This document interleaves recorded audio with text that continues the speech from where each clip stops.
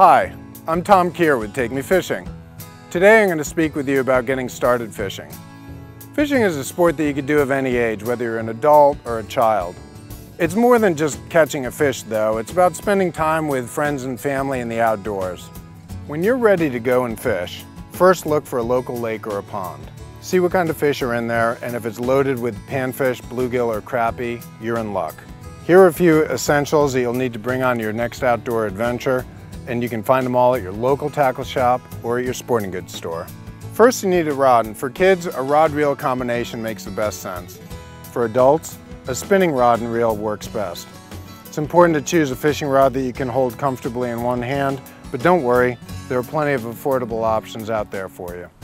Next, you're gonna need some fishing line. And for small panfish, anything under eight pound test will do. Next, you will need some hooks and weights. Look for a combo package like this. Or if you need to buy them individually, hook sizes between 6 and 10 are perfect for small fish. And while you're at it, pick up a package of split shots. Split shots are small BB size weights that actually clip to your line. You'll also need a plastic or a cork bobber that clip very easily to your line and let you know when the fish are biting. Of course, you will need the most important thing to catch a fish, the bait. Live bait is best, so look to see if you have any worms in your backyard. If you plan to go fishing with artificial lures, simple soft plastic worms like this will work. You will need a pair of clippers to cut your line, and it's a good idea to have a pair of pliers to help you safely take a hook out of a fish's mouth. Most fishermen will use a tackle box, but it's not necessary.